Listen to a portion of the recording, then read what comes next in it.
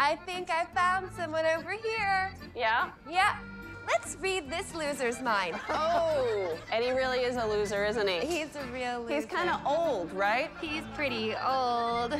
And he's lost. This guy doesn't know where the hell he is. no, he doesn't know He where doesn't know the hell he is.